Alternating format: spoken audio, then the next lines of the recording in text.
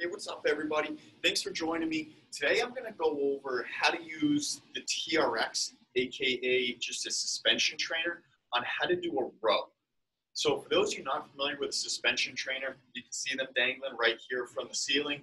Uh, so, those of you that are local members at 40 Westminster, you know exactly where they are. You can always ask for help with them. Uh, for those that go to a, a separate gym, maybe on the weekends, or you have your own facility that you use, uh, try to find these. If you don't see them hanging up anywhere, then ask a, a gym attendant. I almost guarantee you that they're going to have them somewhere, maybe in a lockbox out back, just because they do come on clips. They don't want people stealing them. Uh, however, these these are everywhere in gyms, PT clinics. Uh, they're just everywhere over the last decade or so. This brand is called the TRX, so they're kind of like the Mercedes Benz of suspension trainers. Uh, but there's so many other brands out there, and you can get them for cheap at, at Walmart or Amazon for 50 bucks, Marshalls, whatever. Um, and they're so diverse and so universal. There's so much that you can do with them, and you can hang them up on anything. So that's my quick little tidbit about suspension trainers. So we're going to get into a row. So a row, for you that aren't familiar, is this basic motion of pulling your shoulder blades back, pulling your chest out. It's one of the most beneficial exercises as far as posture goes. Okay, so as you get as you get older, or the more you work and you text and you type, your shoulders get rounded forward, okay, causing a lot of strain back here, and you get these uh, impingements in your shoulders. Not to mention the benefit of using a, a, suspension trainer, like I'm about to show you, is there's a lot more core activation because you're essentially holding a plank for this entire time. All right, so I got these handles all set up so they're at the same level. That's something that you always want to make sure when you're setting up in here. Uh, now, the other great part about using suspension trainer is it's your body weight. But depending on how you use you know, how close you are to the wall, your body weight is either going to be much heavier or much lighter. So you can change this based on every single rep or every exercise, okay? So the first thing you want to do is stand directly underneath the anchor point, okay? That way you're not off to the side. Feet nice and close together.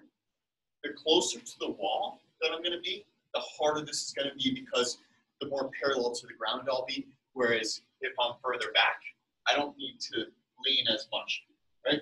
Easy, hard. Easy, okay? So as you can see, just the beginning, the start, we haven't even got into it, but the start of that motion, I'm already in a suspended plank. So this has to be tight, my belly, and bracing as if someone's gonna punch me right in the gut. So this is staying tight to brace my spine, not allowing it to round or to arch. My butt has to be squeezed in order to maintain this nice straight line from my heel all the way up to my shoulder. And my chin is gonna be tucked, okay? That's what they want to talk about because I always see that. We call it text neck that are texting all the time, right?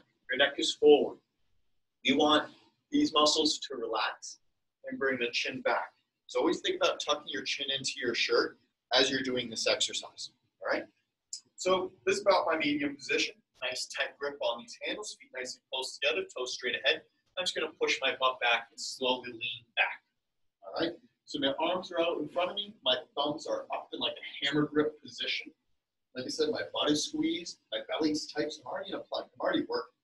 I'm gonna exhale and pull myself up by bending my elbows, squeezing my biceps, and squeezing my back shoulder blades down and back. So it's gonna look like this, okay? Slow as you go down, exhale as you come up. Inhale going back,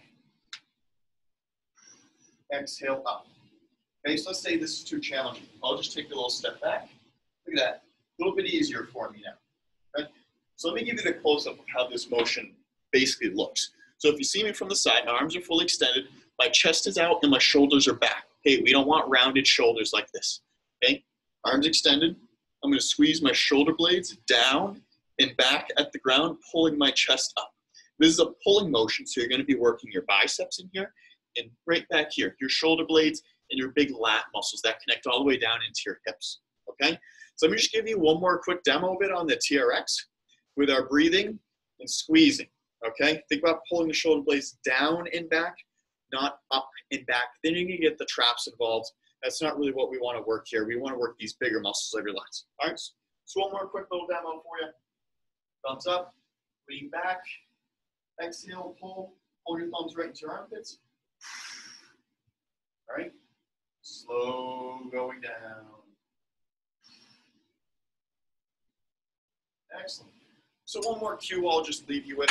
uh, to try to get some people that are a little bit more challenged. Maybe they've uh, they've done a lot of this over their career. All right, say, show me you're Clark Kent right now. Show me Superman. Okay, so they pull their chest out. Boom! Look at that. You're in that. You're in that row position. That's a little cue that you can work on, uh, either for yourself or to help someone else. But please give me a thumbs up if you enjoyed this video. That helps out this channel so much. And uh, good luck on your row and wait to see that posture improve.